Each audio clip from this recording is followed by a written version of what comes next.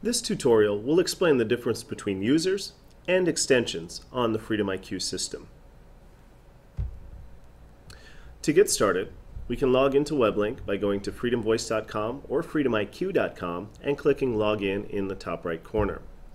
Once we are logged into the WebLink online control panel, if we mouse over the Settings tab, we can see two sections, Users and Extensions. Users are essentially an account that is created to allow you to log into WebLink. Extensions are actual physical extensions that are accessible from the auto attendant. So the Freedom IQ system in particular comes with extensions 80 through 89 and extensions 800 through 804. Now as you activate, you, you can add extensions during the activation process if you run out of extensions.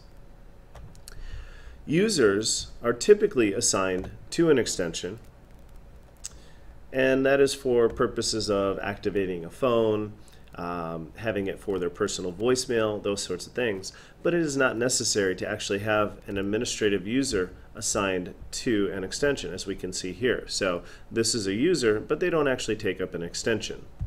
And that would be in the case of an admin who needed to log in and maybe pay the bill, change account info, review reports, but didn't actually need to log in to change any settings.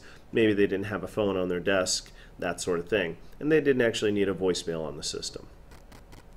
Now, when a user gets assigned to extend, an extension, it typically means they have to access an extension for voicemail or for their call forward settings to update those sorts of things and to have calls forwarded to their phones.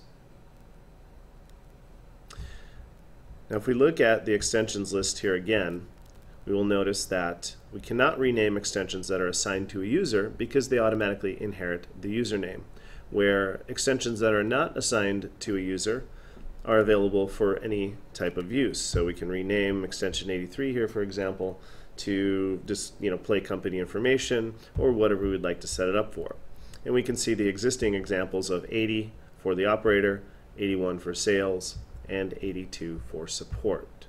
So users and extensions are typically two different things, but they are often related. Thank you for watching this tutorial.